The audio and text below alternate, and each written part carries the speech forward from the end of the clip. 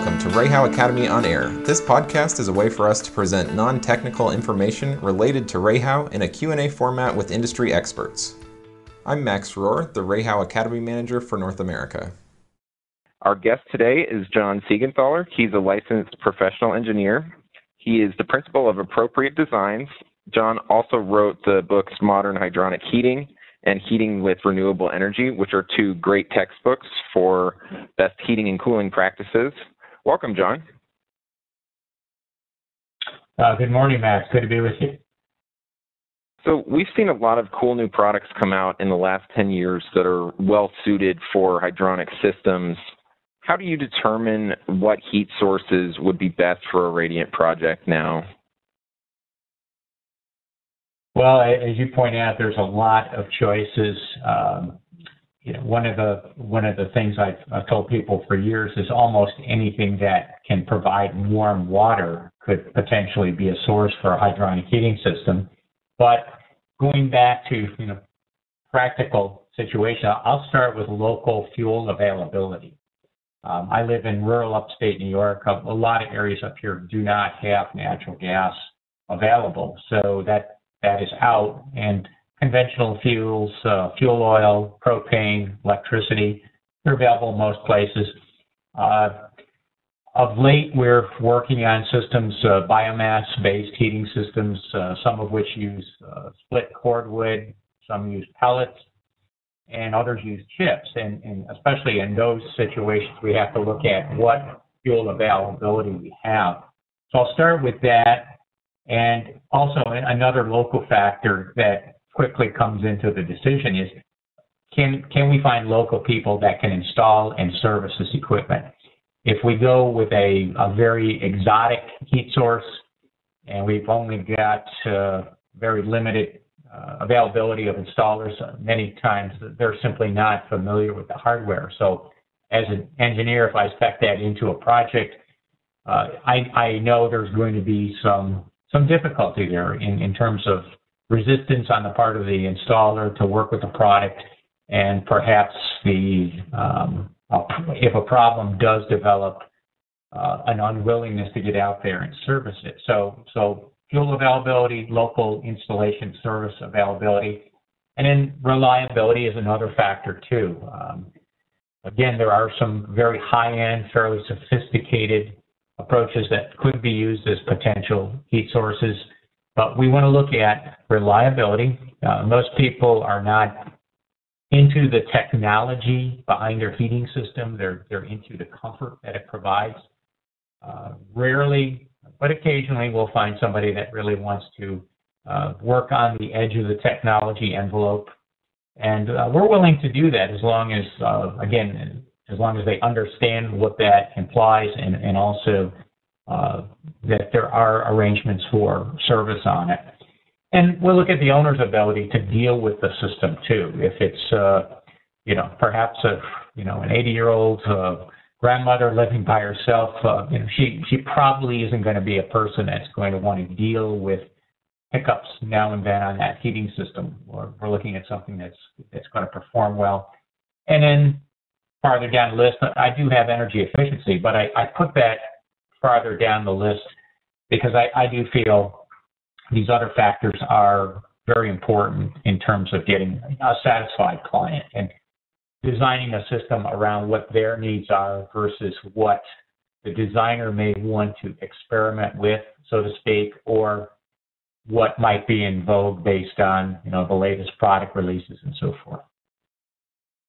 And I think that probably price consistency um, would factor into that too, because I know that in some places, depending on the year and depending on the price, propane can be the best or the worst option. Where if renewables are part of that mix, at least you have some sort of consistency that once you go through the initial hardware costs, that you should have the same amount of sun energy or you know earth energy or whatever Right. Right. That, that's a good point. I mean, we've seen, uh, obviously, we've seen the price of, uh, for example, fuel oil over the last two and a half to three years has, has dropped tremendously, and it it has made for it has made for a harder sale to customers that are only focused on price. Uh, you know, it's it's kind of a no-brainer if, if that's the only focus. But you, you bring up a good point. Long-term, uh, long-term price stability on the fuel, uh, and making sure that that fuel is available. Uh, one of the local struggles that uh, it is getting better, but uh, two or three years ago, one of the local struggles was the availability of pellets near the end of a cold winter where demand for pellets were high. Uh, the local pellet producing companies uh, just don't have large warehouses full of pellets or silos full of pellets. So uh, again, if we're designing a system around pellets, we want to make sure that we've got stability of relative stability on price, but also stability on a, on availability of the fuel.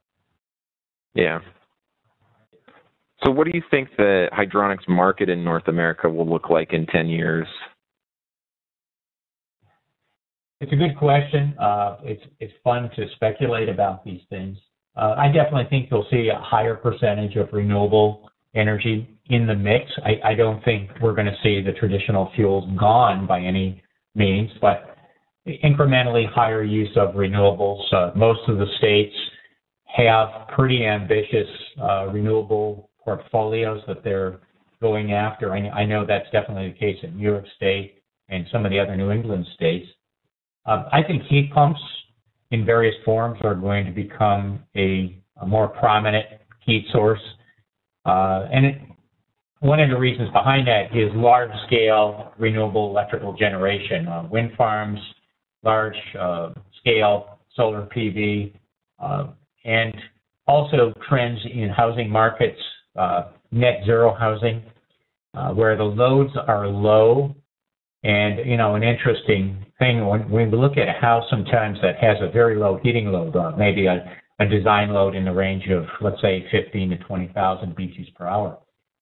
Even if natural gas service is available to that house, uh, the cost of having the gas meter, the basic service charge associated with having the gas meter on the house, might actually be higher than the usage uh, cost of natural gas. So we look at a situation like that and ask the question, is it worth having both the electric meter, which is pretty much a given. Uh, I mean, there are occasional off-grid projects, but most people are going to have utility supplied electricity.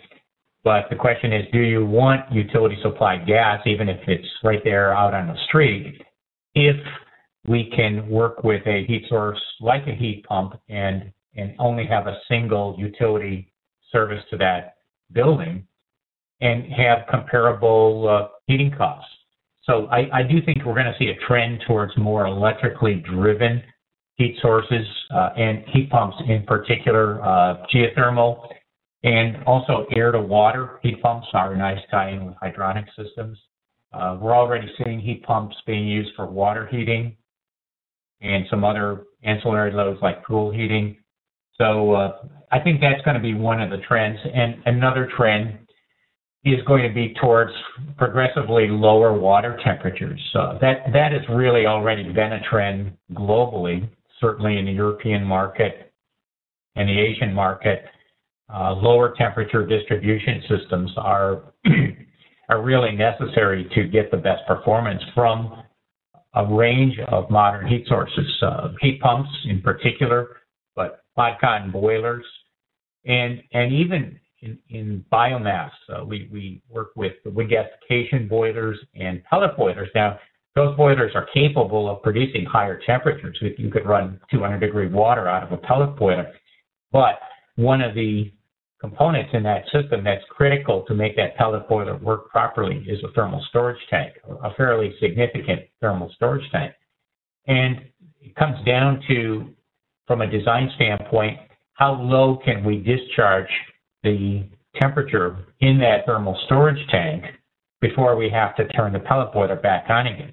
We, we want to have long run cycles on those boilers. So low temperature distribution systems allow us to take a tank from maybe 180 degrees all the way down to perhaps 100 degrees. So, so I, I definitely think another trend is going to be towards lower water temperatures. So one of the guidelines that, that I suggest to people, it, it's not an ASHRAE standard. It's really not any, it, it doesn't have any legal teeth at this point, but just kind of a self-imposed standard is to design every hydronic distribution system, regardless of its heat source, so that it can provide design heating load with 120 degree Fahrenheit or less, or I should say, or lower water temperatures at design conditions. And by doing that, you you future-proof that system. If you're if you're doing a good job with your distribution system, it should last for many decades. It's going to outlast its original heat source, probably its second, maybe even its third heat source. And you know, obviously, looking way ahead in, in the market, we don't know what those heat sources are going to be, but the, the bet is on lower water temperature, providing higher performance in whatever those heat sources are. You know, the basic physics isn't going to change. So why not design today for what will be a long-term investment in that distribution system and key idea, low water temperatures. Do you think district heating on kind of a medium scale, um, maybe 20 houses, townhouses, or something like that, will make a, a comeback? I think so. Uh, it's extensively used in Europe. Uh, there is a new ASTM standard that's been in the works now for close to three years, and, and I believe it is due out. I believe it's due out by the end of this year. Uh, it's ASTM E44, and it is an accuracy standard on thermal metering equipment. I think once that standard's in place, that engineers are going to be more willing to design around the concept of of heat metering. And there's a lot of technical advantages to systems as, as you described. We, will call them a mini district heating system where we've got perhaps a variety of heat sources. Um, uh, I know in Western Canada, uh, in BC, there's been several um, mini district systems that have been designed around biomass boilers with with gas uh, gas boilers as a backup, and uh, supplying perhaps to a commercial district area, maybe half a mile to a mile of uh, distance between the heat source and and the and the loads. So yeah, heat metering is, is definitely a technology that is is going to happen here in North America, and, and I think it'll fit nicely uh, with you know the new heat sources. It'll fit nicely with renewable energy. It's it's kind of interesting that some renewable energy programs uh, actually require heat metering now from a performance validation standpoint.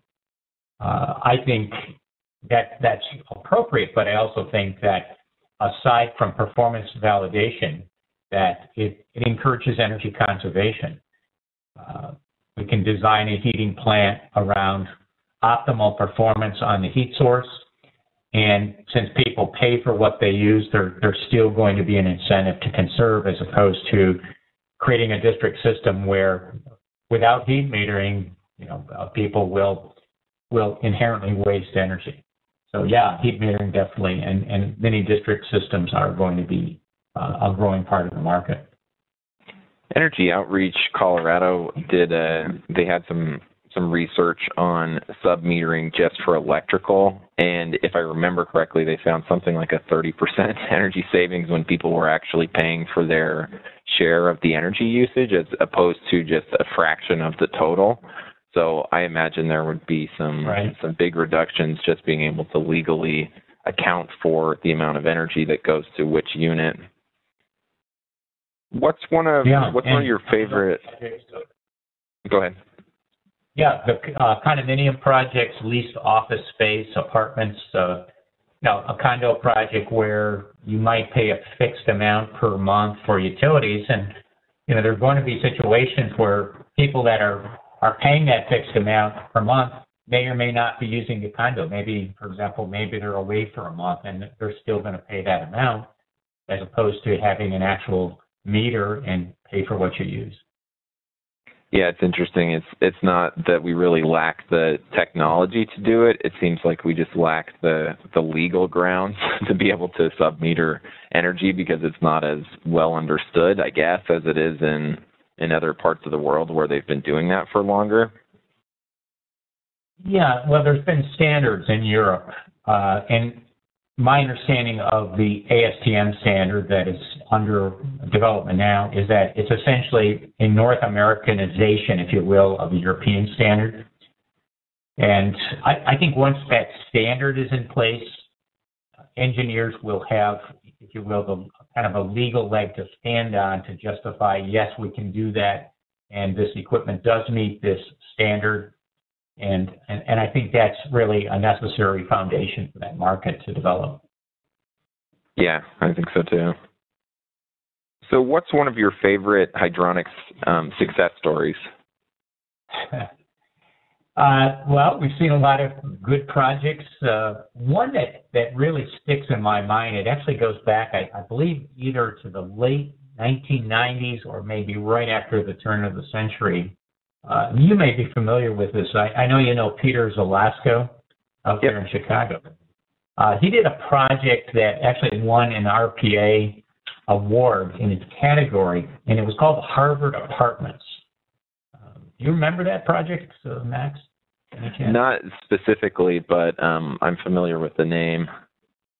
Yeah, uh, just imagine a, a typical uh, apartment building with maybe uh, 12 apartments on the first floor and another 12 above it.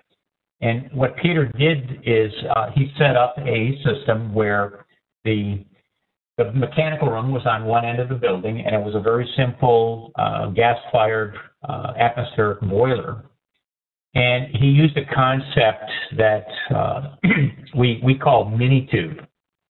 And what Minitube is, is, is recognizing that a boiler like that at design load conditions can produce relatively high temperature water, let's say 180 degree water.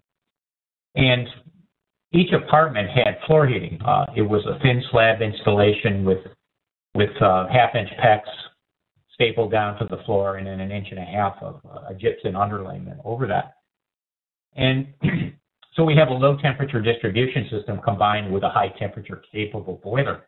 So we have very large temperature differentials to work with there between the source of the heat and the load.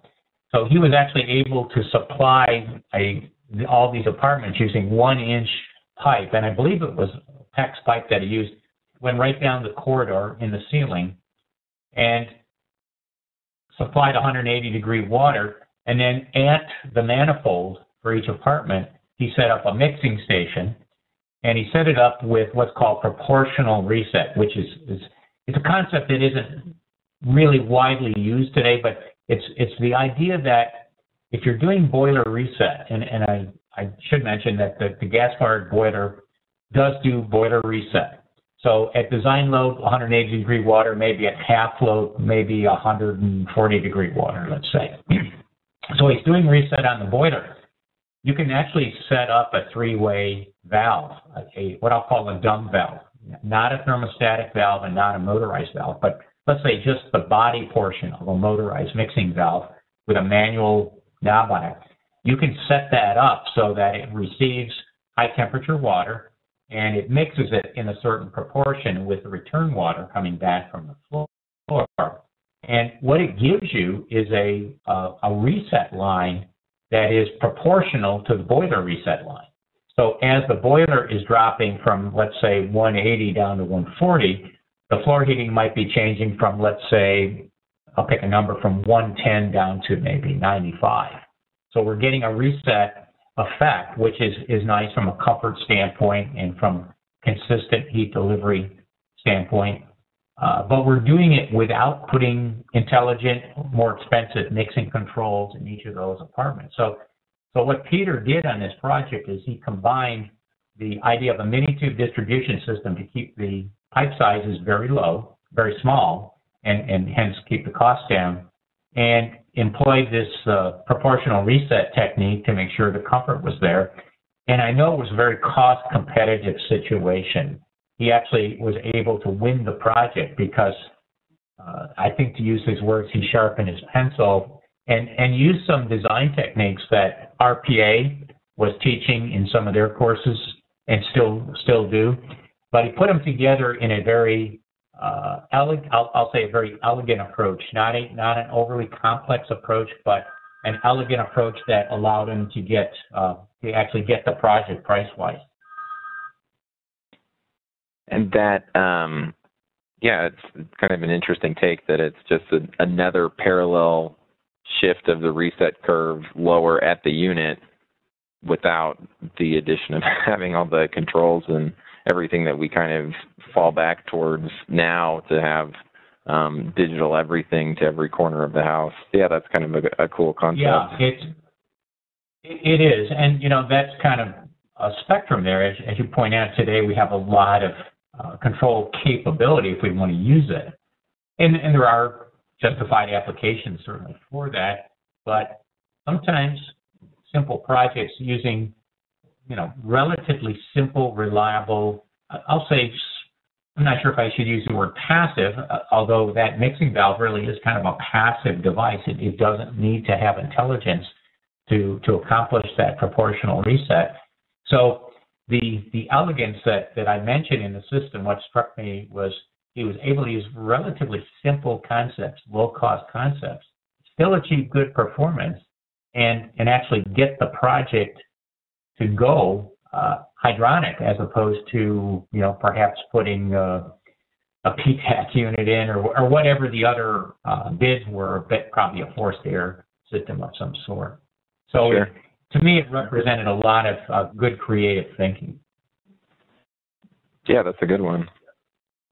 In general, what design consideration is most overlooked in a hydronic system? Uh, well, again, de- depending on the hardware, but one of the, the concepts that that I don't think is uh, getting as much attention as it deserves is hydronic system can deliver heat using a, small fraction of the electrical power required by a forced air system. And, and a good nominal ratio there is about a 10 to 1 ratio. So, for example, to deliver heat in a forced air system through a typical house uh, with a blower having a permanent split capacitor motor, a standard blower, not, not a high efficiency ECM, uh, we might be in the range of 600 to 800 watts of electrical input just, just to move that heat, not to create the heat, but just to move that heat around the building. If that was a hydronic system, we could do that probably in 60 to 80 watts, or today with ECM circulators, even even less. And I think it's a concept that, that needs to be brought out in the marketing and the sales of hydronics, the promotion of hydronics, but it's also a concept that designers need to keep in mind because uh, I'm sure you've seen projects as, as I have where a designer might put 20 or 25 circulators on a wall. And it looks good, it looks impressive. We've got the circulators all lined up. It makes a great, you know, great uh, photo for the circulator manufacturer, but it's absolutely the wrong approach from the standpoint of energy usage. And the uh, industry as a whole, at times, gets gets somewhat fixed on the thermal efficiency of the heat source, you know, be it a heat a, a geothermal heat pump or a Modcon boiler, whatever it is, and they disregard the energy usage of the distribution system. And you know, obviously the the customer is paying for both. So uh, from a design standpoint, to reduce the electrical usage of the distribution system is, is probably one of the more universal concepts that that could be improved upon. And and you'll see a big difference between the North American market's attitude on that versus, let's say, the European market's attitude on that. Um, so if I had to pick one, it would it'd probably be that. And a second one that I'll, I'll throw out for thought is proper documentation of custom systems. If, if a contractor is going in and just doing, let's say, a very simple, maybe it's a, an oil-fired boiler supplying three zones of baseboard, three circulators, and a zone relay panel, that's a pretty straightforward system, and pretty much any competent hydronics tech should be able to understand that, install that, service it, so forth. But when we get into sophisticated systems with multiple heat sources, uh, many different zones, uh, mixing, uh, thermal storage, lots of controls. That's that's a, a, very customized system, and it's not that we shouldn't do those. We can do those, but when we do those, it's very important to create good documentation, uh, good pipe schematics, electrical control schematics, written descriptions of exactly how that system operates. And the idea is not only to document it for proper installation, but to have long-term documentation. So 10, 15, 20 years down the road, when inevitably something needs servicing on that system, there's a roadmap to follow. And, you know, even the original designer might not remember how the system was designed, what some of the little uh, technical details were, and they might be out of the picture at that point. So we should document systems so that reasonably competent local technicians can come in, they'll look at the system, they may not initially understand it, but with that documentation on site, they should be able to uh, reference this is what the system is supposed to do when it's operating correctly, observe what it's doing, and then reconcile the difference. So, so providing good documentation is important on these uh, custom systems.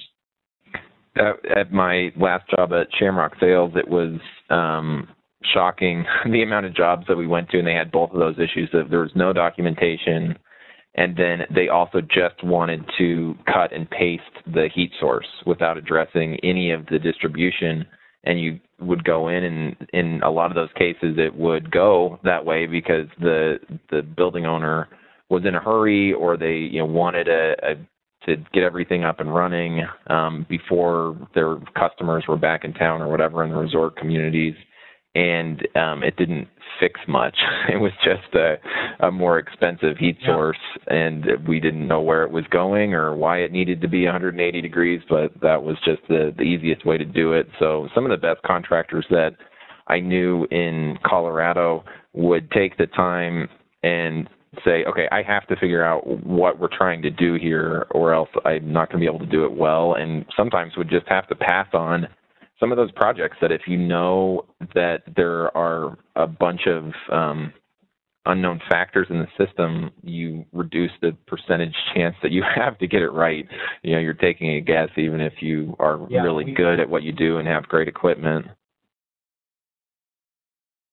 Absolutely. Uh, we see it all the time uh, with the biomass boilers now, uh, where there are incentive programs in New York State at present to install pellet boilers, and, and they're very attractive incentive programs. So a customer will, or or a contractor for that matter, will will kind of picture the situation as we have an existing heating system. Uh, most of the time in upstate New York, uh, in these rural areas, uh, it's usually a baseboard system and either a, a propane or an oil-fired boiler that's been supplying it. And they view it very simplistically as I'm going to set the pellet boiler next to the oil boiler. I'm going to just pipe it in there in parallel, put another pump on it. I'm not even going to go upstairs and look at what the distribution system is, what the heat emitters are. And we get very marginal results that way because, uh, you know, I use the analogy that they're they're putting a Ferrari racing engine into a uh, Cub Cadet lawn tractor and expecting it to be a great racing machine. Uh, they they just aren't matching the operating um, characteristics of that heat source to what that distribution system is. And as you point out, you just you can pick whatever you feel is the best boiler or heat pump or solar collector or whatever. And if it isn't compatible with that system, you you know you're you're basically doomed from the beginning. You've got to make sure people understand that it is a system, and in some cases, we have to go upstairs, so to speak. We have to not only assess what's there, but in, in some cases, we need to extend what's there, either more baseboard or perhaps some radiant panel uh, being added so that we can get those water temperatures where they need to be to get the best performance out of that new heat source. Yeah, I think that to bid it properly, you have to look at the the whole house and not just walk straight into the basement, into the mechanical room. So um, yeah. my last and, question and for you. To, oh, go ahead. Yeah, I was going to say, Max, be prepared to justify why your price is higher if you're if you're going in and assessing that system and you see that there are existing issues that have to be dealt with in order to get the, the right performance on that new heat source, you know, as opposed to just saying this is my bid in, in dollars. you know, I, I did an assessment of the project. Um, this is what you have at present. This is what we would like to do to bring it up as a system and, you know, justify it. Uh, so it, it isn't always about uh, beating the next guy in price. It's, it's about providing value and providing professional insight to the customer and spending time with that customer to, to make sure that they see what you're doing is you're acting as a professional should. You're, you're, you're not just saying, I can replace your boiler with whatever for X amount of dollars. I'm, I'm, I'm doing a complete, I'll use the term makeover of your system to bring everything up to where it should be. Yeah, because you could replace a boiler with any other boiler in the world, and if the the living room has a, a big couch in front of undersized baseboard that's filled with dog hair, something like that, you just uh, you're not going to make that that room that much warmer. Correct. So the uh, the last question I have for you: um, Who's your favorite teacher or mentor, and why? well, I, you know, I know a lot of people, and I don't want to single out people within our industry. Uh, a lot of people that have done excellent work uh, in in terms of training, but in, you know, my thoughts go back actually a long time ago, 19 75 when I was uh, I was in my first and second year in college in engineering. Uh, I had a physics professor by the name of Neil Gall, and I'm not sure if he's still living at this point. I've, I've kind of lost track of him. But this guy was uh, uh, extremely neat and consistent with his teaching approach. And, and of course, back then, this is actually even before overhead transparency. This was chalk on on a chalkboard. But the thing that that impressed me and stuck with me uh, consistency. He always went back to the basics. Uh, he always stressed, uh, you know, things like getting the units right when you're doing a calculation and, and not being sloppy. And he, quite honestly, wasn't very tolerant of people that were sloppy uh, in, in terms of grading. So he was somewhat of a feared uh, instructor. But I can remember his lectures, uh, and it's been like 40 years now. Um, I can remember you know, what he described and, and the fundamental principles. So I think that being consistent and, and making, um, you know, being neat with the presentation, using consistent terminology is important.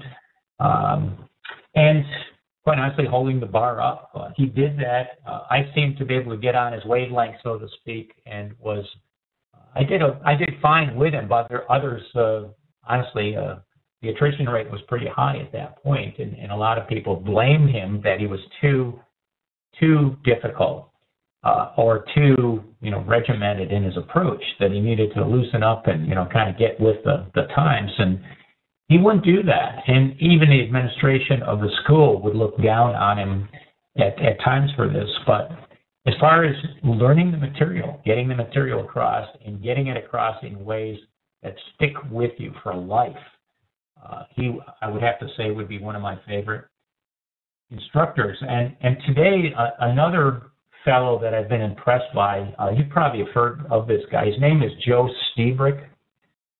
Uh, he's a uh, he's a building scientist. He's he's actually a Canadian by birth, but I, I believe he's a, a citizen of the U.S. now, and he, he runs a company called Building Science Corporation out of Massachusetts. And Joe has been around for a long time.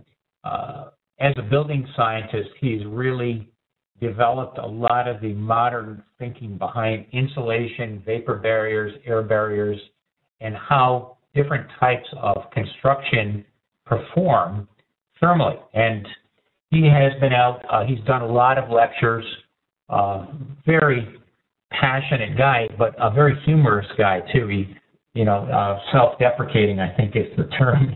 he uh, he can really hold your attention. So I'd have to say today, as far as technical training, uh, he'd be one that sticks out in my mind. Great. Yeah, I'll have to uh, look up some more of uh, his his training stuff. So thank you for joining me today. You can find more information from John at hydronicpros.com. You can order his book there and also see upcoming seminars. Um, John also does 10 week online courses with heatspring.com that you can link to from his site, as, as well as writing a monthly column for Plumbing and Mechanical magazine. To find REHAU technical training, go to na.rehau.com forward slash academy and check out REHAU America's YouTube channel. Our Twitter handle is at REHAU, and you can always ask your sales rep for more information about local trainings.